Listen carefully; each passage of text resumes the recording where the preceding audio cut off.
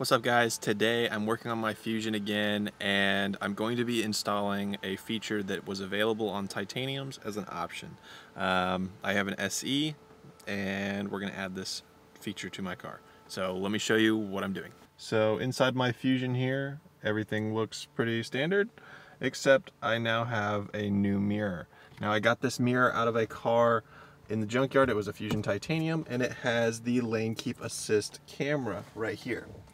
So that's what I am retrofitting. I already had the glass replaced and that was finished today. I'll show you some footage of that. But now we're gonna go ahead and finish doing the rest of the installation here and I'll show you how to do it, hopefully.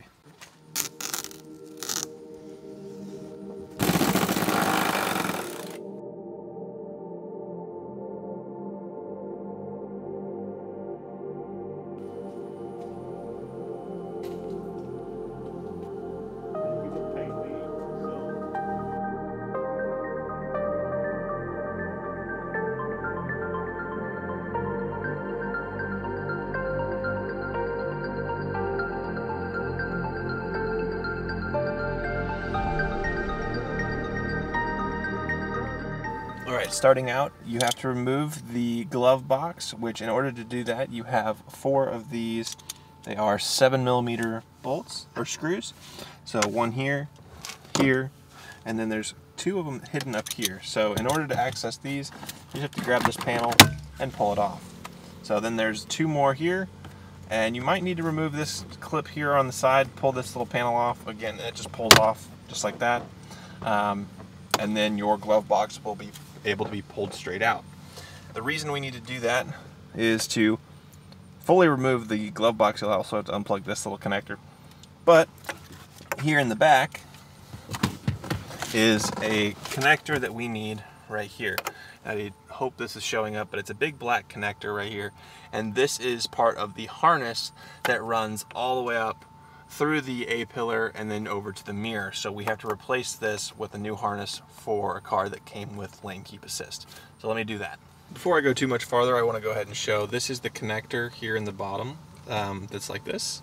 So this is part of the mirror harness and it's a long cable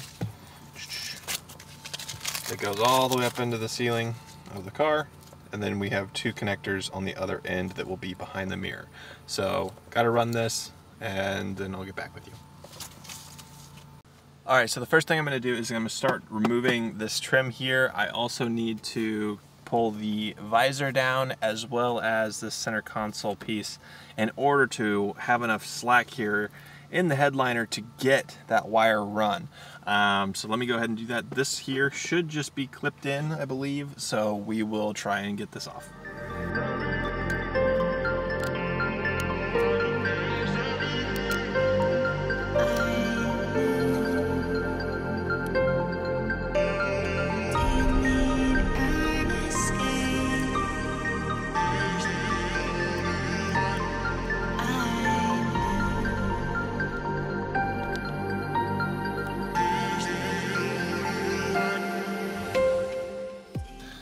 So I want to go ahead and show this special clip up here on the visor right here. So in order to get this guy out, you have to pinch it together and pull it down.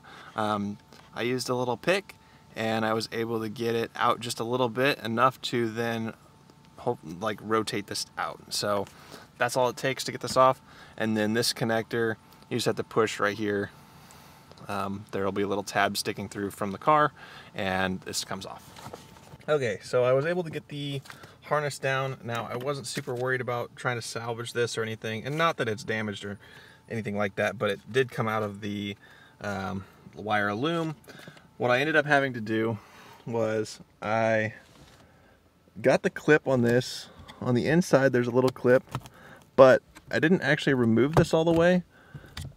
After having the um, visor and the uh, hand rest here, or the handle removed, which was the same size Torx bits, I was able to just kind of reach up inside the sunglass holder here and pull down and it pulled it off of the clips up inside. So I had enough slack here to actually just pull onto the wire and since it's glued to the top of the headliner, it's just kind of a pain to get it off. But I do have it out.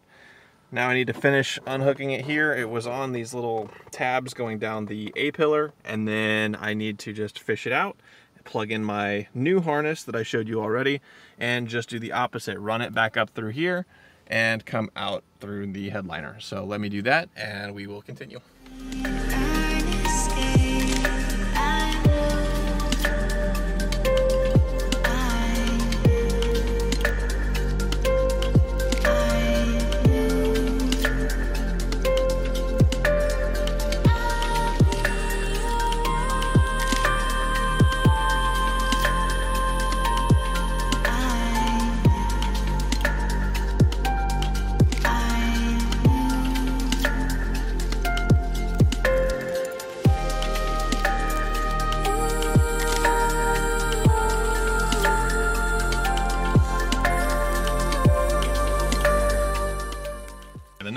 Takes place here on the driver's side.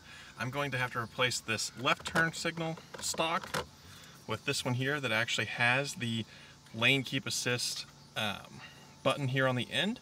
So this is the button that will be used to activate it. And then I also have to replace the wipers here, the stalk for them, with ones that support the automatic wipers. So that's what I've got here. This came out of the same car that the mirror came out of, and then I had to order this one because someone else had already swiped the lane keep assist switch.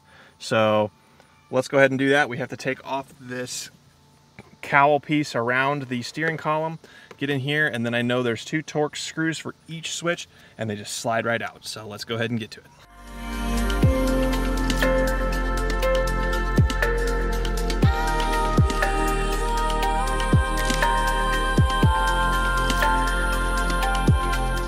Now this next part, you just lift this top part of it up, and then here's the two screws that are Torx. These are this is smaller Torx this time. We just unscrew these, and this switch will slide out, and we can slide in our new replacement switch.